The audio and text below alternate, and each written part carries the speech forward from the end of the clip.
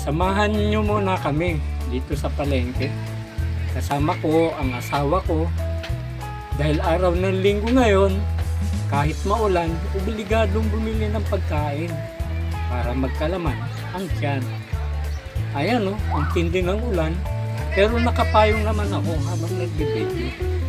At nandito kami sa tindahan ng kanilang baboy. At dito kami bibili ng karne.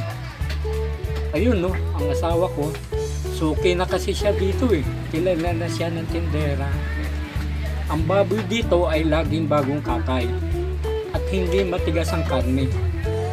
At ang tinitinda nila ay hindi na yung baboy. At patimer ang baboy nila. At dito naman, panay ang gala ng camera ko. Habang ang asawa ko ay bumibili ng pansit at palabok para sa almusal namin ngayon. Kasi masarap na pang-almusal ang pansit at palabok eh.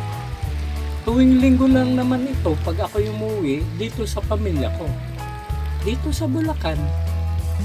Libang na libang ako sa pagbibideo ko.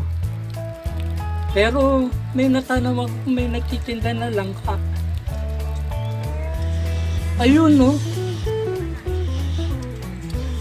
Sabi ko sa asawa ko, mag-ulam naman tayo na langka. Ang tagal ko na kasi hindi nakakakain yan eh.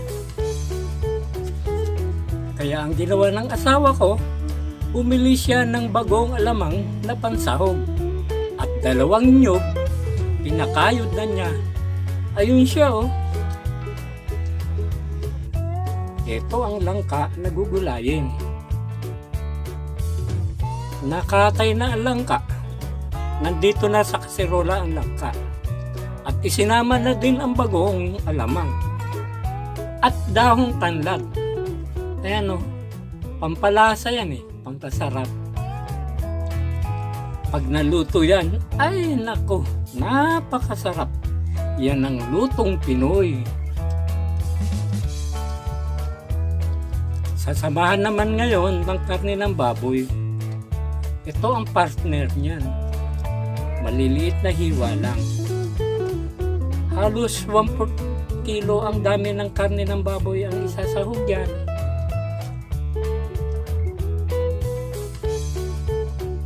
Ang kasunod ay ang gata ng nyug.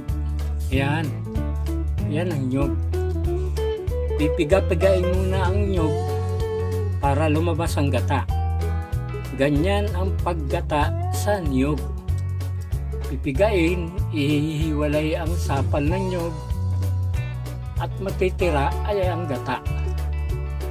Tapos, saka isasab isasama na, isasali na dito sa kaserola. Gagamit nga lang ng pansala para yung sapal hindi masama sa kaserola. Ito ang pangalawang pagpiga. Dahil meron pa yung gata, piga-pigain lang at kakatas pa yan. Sayang din eh. Ayan o, may, gat, may gatas pa. Gamitan uli ng pansala, isalin, at ang natitira, piga-pigain uli. Ayan. Pagkatapos, haluin, haluhuluin para ayan, at isalang. Ayan.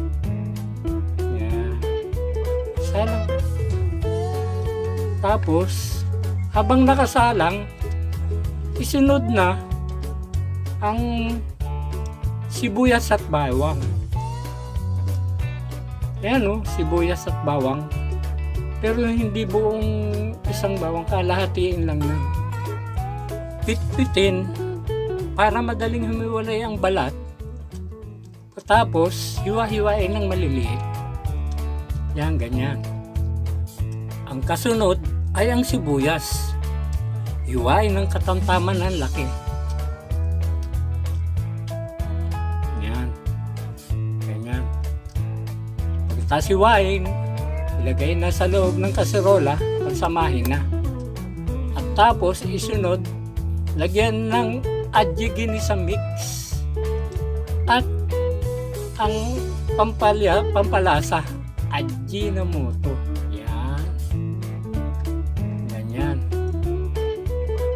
Pagkatapos haluin. Haluin na haluin para pantay ang timpla. Saka takpan. Antayin hanggang sa kumulo. Yan.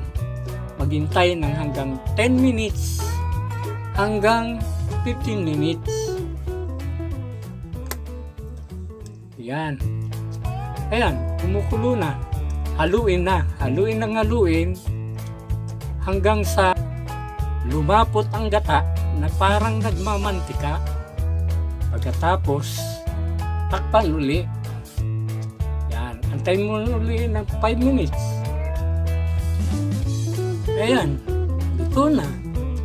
Ang bango ng amoy. Nakakatakam. Ayan ang ginatang langka na ang sahog ay karne na may bagoong alamang. Ang sarap nito guys. Sariling recipe ko ito. Yummy yummy. Kung bago pa lang kayo sa channel ko, huwag niyo pong kalimutan mag-likes. At pakipindot na rin ang subscribe button. At pakikalimbang na rin ang bell para lagi kayong update sa susunod ko pang mga video. Salamat po!